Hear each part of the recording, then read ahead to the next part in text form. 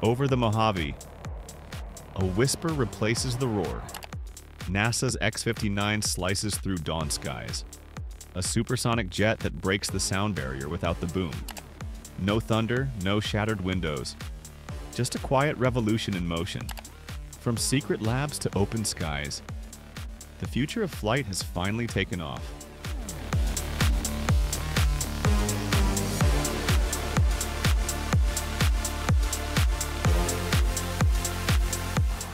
A new chapter in aviation history just roared, well, more like whispered, across the California desert.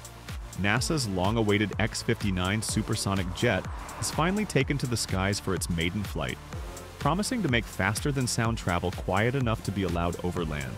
This futuristic aircraft, developed by Lockheed Martin's legendary Skunk Works division, took off just after sunrise from Plant 42 in Palmdale, roughly 60 miles north of Los Angeles.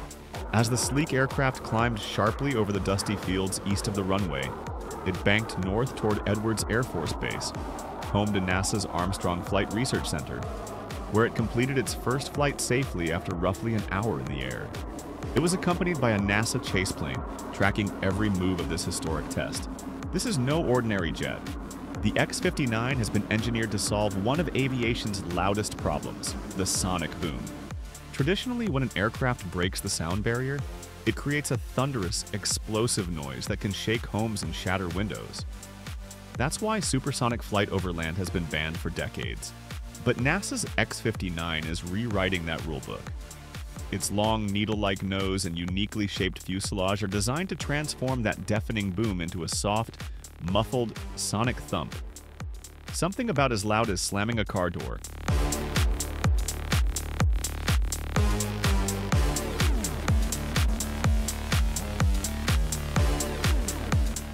If the technology works as planned, it could revolutionize commercial air travel, paving the way for faster than sound passenger jets that fly quietly over cities without disturbing the peace. The first test flight, however, stayed below supersonic speeds, cruising at about 230 miles per hour or 370 kilometers per hour at an altitude of 12,000 feet. NASA says these early flights focus on safety checks, flight control systems, and basic aerodynamics before pushing toward full-speed tests in the coming months. Getting this aircraft from blueprints to blue skies has been an expensive mission. NASA has invested over $518 million since 2018 to bring the X-59 to life. But for the space agency, it's money well spent if it leads to the next era of quiet supersonic travel. The X-59 successfully completed its first flight this morning. It's a significant aviation milestone.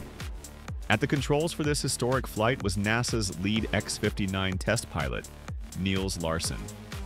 Around 200 aerospace workers and their families gathered along a nearby highway, watching as the jet lifted off, a moment decades in the making. But there's another reason the X-59 is grabbing headlines this week. Beyond the runway, it's just been crowned the coolest thing made in California for 2025. A title awarded by the California Manufacturers and Technology Association, or CMTA.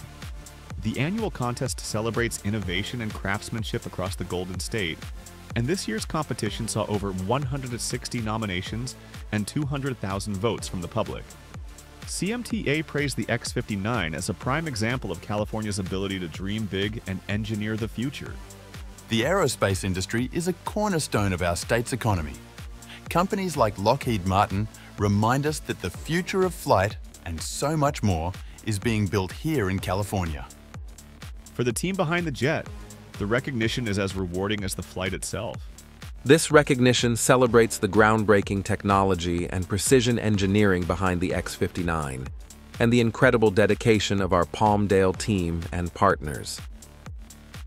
NASA hopes to start community overflight tests in 2026, flying the X-59 over select U.S. cities to measure how people on the ground react to its quiet sonic thump. If successful, the results could help lift the decades-old ban on supersonic flight over land.